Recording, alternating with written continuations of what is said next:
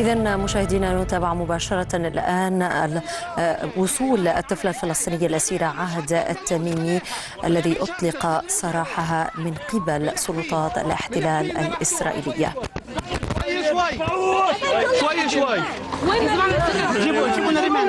نذكر أن سلطات الاحتلال تلاعبت بمكان الإفراج عن عهد التميمي وقررت تغيير المكان المحدد وهو حاجز جبارة غرب رام الله إلى حاجز رانتيس.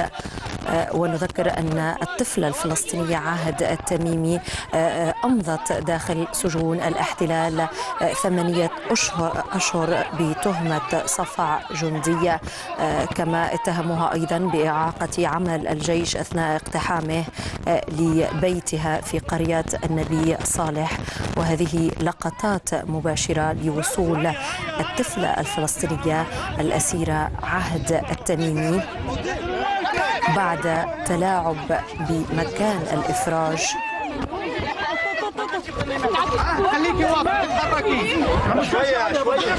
نذكر أن عهد أمضت داخل سجون الإحتلال ثمانية أشهر تقريبا بتهمة صفع جندي كما اتهموها أيضا كما ذكرنا بإعاقة عمل الجيش أثناء اقتحامه البيت في قرية النبي صالح.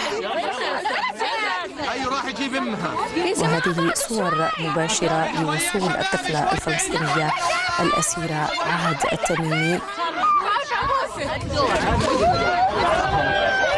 وهذا حجم التضامن هناك في حاجز رانتيس قرب رام الله لوصول ولحظة وصول الطفلة الفلسطينية عهد التميمي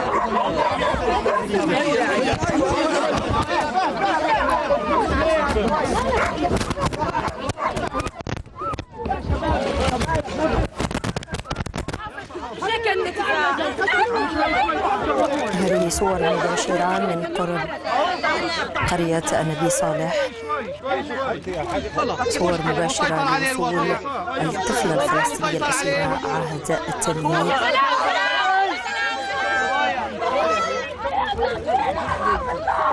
كما نشاهد ازدحام لمصافحة الطفلة الفلسطينية عهد التميمي من قبل أصدقائها وعائلتها والمقربين إليها والمتضامنين معها كذلك بعد حجزها داخل السجون الاحتلال ثمانية أشهر. والذي اتهموها بصفع جندي وإعاقة عمل الجيش أثناء اقتحامه لبيتها في قرية النبي صالح.